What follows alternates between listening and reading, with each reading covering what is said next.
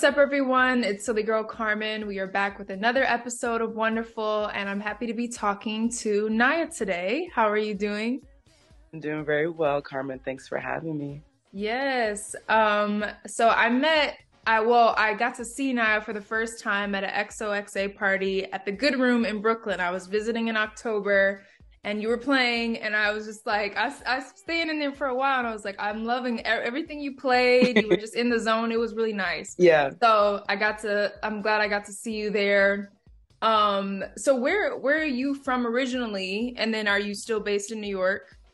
Yeah, so um I'm originally from New Jersey. Uh grew up there and then um, I moved to Brooklyn, where I'm based right now, in um, 2018. So I've been there since. I'm currently in Detroit, so and that's why I asked about time zones. But um, yeah, so I'm currently in Detroit, just visiting. But yeah, I'm Brooklyn based right now. Originally from New Jersey, born and raised. Yeah.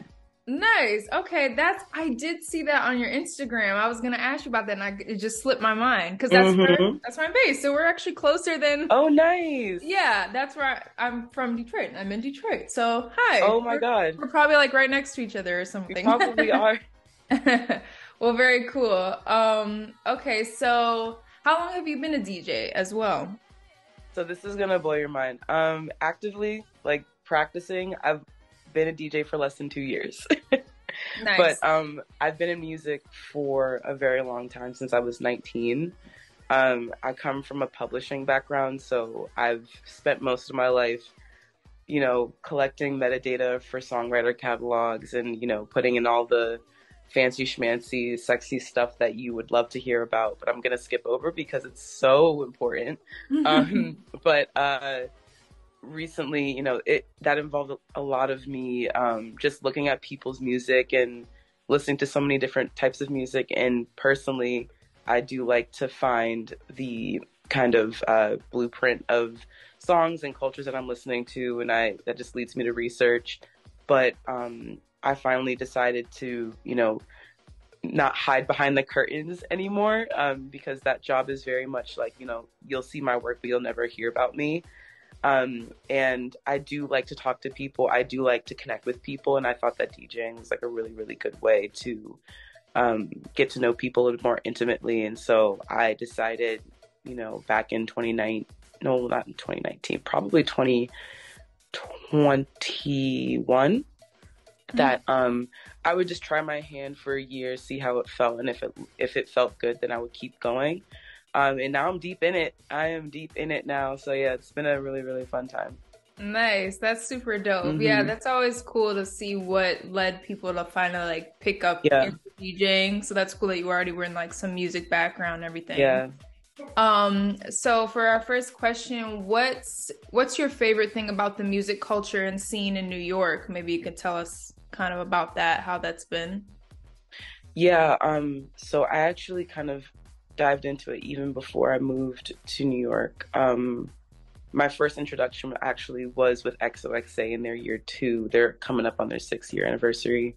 Mm-hmm. Um, and my friend Kira, who founded XOXA, one of the founders, um, she kind of invited me to XOXA's parties. At the time, they were doing dry parties, then you know a mix of parties where it you know there was options for alcohol, but I just thought it was really cool that they had different gimmicks like bubbles and candy and you know um, safe substance use practices like all this stuff that was like super formal and um, um, educational. So that was my introduction into nightlife in new york which was i'm very grateful for because that um, speech has become a lot more prevalent now with you know safe substance use and um, just safe spaces within the club scene um, and those and those parties were great. You know, I I got to go, you know, around like Williamsburg. I got to go up Bushwick and um, even like deeper into Brooklyn to see some artists play. So mm-hmm. it was it was really cool. And now it's you know it's bustling. Everyone either wants to be outside or they want to be behind the booth, and it's really fun to see everyone be creative. Um, you know, there's i am sure you've heard there's been some. Uh, nightlife scares with uh, certain venues closing down mm. and then mm. opening back up. Um, luckily, most of those venues have opened back up and it's brought some of those um, OGs back to those clubs, and it's nice to see them in your own city. So it's been really, really dope. Mm-hmm. Nice. Yeah. That's super dope. Yeah, I um I came to visit New York when I like I said in October and I I had just missed the energy of being in that like pace and creativity mm-hmm. of the city. But yeah, I'm like thinking about it, I could only imagine New York is probably such a hub for you can get a you know, I'm sure a lot of people come through and and yeah. want to be in New York anyway. I know the weekend before I was there, I know Black Coffee had his huge show out there and I, I feel like everybody was there. Yep. That's cool. Louie Vega's been um, touring around recently, yep. so he's been, you know, at Three Dollar Bill, and I think Kerri Chandler was there the month before, so it's like cool to just see people just come back and just play for us. Mm-hmm. Okay, cool. Um, so what is your when you're preparing a set or heading into a new space as a DJ? What is your thought process or preparation practices? Do you have any insight into that? Yeah, um, I'm a busy mind. I mm-hmm. I have so many ideas, and so I want to get them all out. But then I have to force myself to just sit and just let everything kind of flow through me because the minute I get busy minded, that's how I'm going to be behind the booth. So um, I do have good rituals. I make sure I make myself a good meal um, I might do like a mask or mm-hmm. um, just kind of like do some self care because I also don't know how long I'm going to be out for. So I just want to make sure I'm taken care of before I take care of other people. Um, and I will take a you know like a second pass at some of the selections. I have um, if if not a playlist, I I kind of uh, I don't do playlists as much anymore, but I've what I've recognized is that what helps me personally is um, just connecting a little bit closer to certain producers or artists that I do want to highlight or like instrumentals that I do want to highlight in the coming set. So mm-hmm. I'll go back and think about, you know, what kind of sounds, what kind of instruments I want to hear in those sets. And I'll think, okay, I know how to pinpoint, you know, this uh, Kenny Larkin track. Okay, I think I know, I know what goes next. So kind of playing um, like six degrees of separation a little bit before I before I go, and then I just make sure phone keys, wallet, mask, USB, records if it's hybrid, because um, mm-hmm. that would be terrible. But um, yep, that's that's basically the thought process before I head out the door. Nice, I love that. Yeah, mm-hmm. it's I think that's I like the way you you put that because I I think I'm always thinking like how are other DJs preparing for these things and I like the the added bit of like the self care like you want to feel good before yeah. you go into these things and stuff so that's really important. Um, so is there anything or something exciting that you're working toward or putting out into the universe for 2023? It could be in regards to DJing or just in, in general, whatever. Yeah, um, on the topic of producers, I have you know, it's it's funny when you're you become a DJ and like, I grew up around a lot of house music. That's like my that's like my language is like house music, but I never had to put a name to the artist I was listening to. Mm-hmm. So growing up, it was um, a matter of just like listening. Like I knew melodies, I knew lyrics, but I never knew who those people were. And so the past couple years has been kind of me going to clubs and me like dancing, and then being like, "Oh my god, I remember that when I was like four years old. like, what's that right. song?" Um, and so I'm kind of like decoding my memories in a point where I have to catalog them and recatalog them to make sure I actually know um, what I'm listening to, which is which is new for me. But um, that being said, it's it's kind of uh, gained my interest in production. Like I eventually, I know I do want to do some production, and I have some ideas. I'm just um, in the process of like discovering what kind of sounds I enjoy. Um, and I think that approach kind of goes back to how I prepare for sets. Is like what kind of producers I want to listen to, like what kind of instruments. So I think it's a really good practice. Um, another thing I'm looking forward to is uh, DJing not in state, uh, mm-hmm. out of country. Um, definitely would like to do some stuff in EU, Montreal, um, and I have some uh, producers that I look up to out of Paris because of the French touch scene mm-hmm. over there. Um, but yeah, I'm I'm hopeful and I'm just kind of grateful for anything that comes up. And this whole journey's been really dope, and I kind of trust it tenfold. So, yeah, it's it's been really exciting. Um, and and actually, as we speak, I'm in Detroit because I have a show. Um, and it's going to be all vinyl. Um, and oh, cool. actually, yeah, I learned um, I learned how to play vinyl maybe a couple months ago um, mm-hmm. through the kind of privilege of of having some MK2s handed down to me from a family friend who saw I was like doing really good in DJing. He's like, "Oh my god, you know, I used to be a DJ. They're kind of laying mm-hmm. in storage. If you want these, you can have nice. them." And then yeah, and and I've been um, restoring some of my family's records, which my dad totally forgot that he had in the basement, but they had um, they had been kind of damaged from Hurricane Sandy back in the day.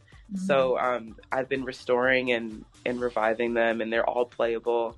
Um, so all of that together has been forcing me to kind of take the practice super seriously and and very intimately. Um, and now I get to kind of send on that same practice here in Detroit where you know the practice really was developed turntablism um, and it's it's been really dope to to be around the people that kind of like made the art what it is. Um, and I'm happy to like bring it back. So yeah, nice. That's perfect. Yeah, I love that. You're like right in the cusp of a of a path yeah. and the evolution of like exploring more. That's really great. Yeah. Where where you? You said it's tonight. You're playing. Yeah, I'm gonna be at Paramita. Um, okay, cool. Starts at ten. Yeah, it's gonna be me and DJ Etta. Uh, we're just gonna be back and forth, back and forth all night. Okay, really nice. maybe maybe I'll be out and about. By the time I We're, post this, that'll be irrelevant. Oh my gosh! But for, but for thank you right now, I needed to yeah, know. yeah, of course. Um, so, do you have any? We're gonna wrap it up with one more question. Do you yeah, have any advice to people who want to start DJing but aren't sure where to start? I think because you're you're fresh too. I think it would be cool to see maybe what you're what you would tell somebody who maybe was in a place you were.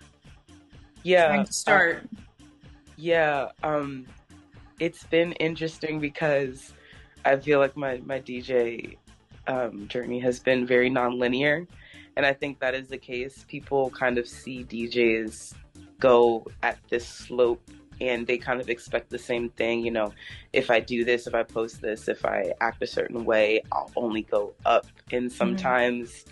it doesn't happen that way. Sometimes you're up here, then you're here, then you're here, then you're stagnant, then you're up and down.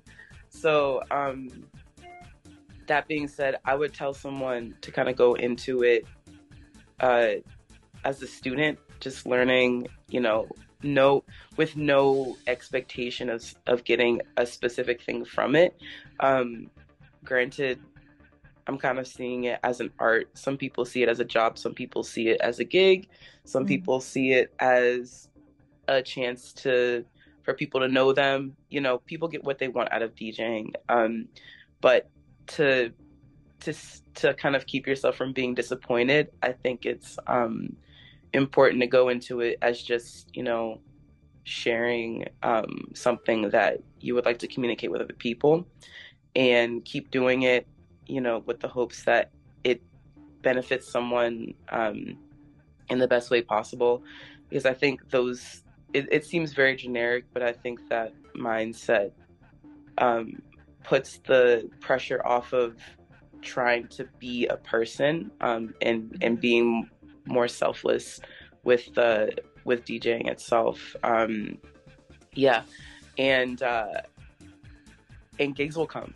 Yeah, that that part. Everyone is always worried about. Oh my god, like I see you with gigs, and like the gigs will come. You can't force a gig. Um, the lineup might not be your style, and you get there and you're like, okay, well, maybe this isn't me. That you know, you can vet. It's okay to like say yes and no. Um, but yeah, gigs will come, um, and it's DJing is more than gigs, but yes, gigs will come. I think for people starting out. Yeah. Yeah, that's perfect. Yeah, I love that. I think. Yeah, I love the way you put it. You putting the more the intention of like knowing what you want out of it, and then you know being true to like making it about something rather than like, oh, this looks like the new popular thing to do. yeah. Know? Yeah. But it, yeah, it is hard sometimes. Yeah. I mean, and that's what I realized too, even for myself, being whether you're new or somebody that's been doing it for a while, there's always going to be those windows of time where you're like, you like I know some DJs that they've been doing it for a long time and they're just as hungry or as possibly concerned about when is the next bigger yeah. thing or what you know where where next.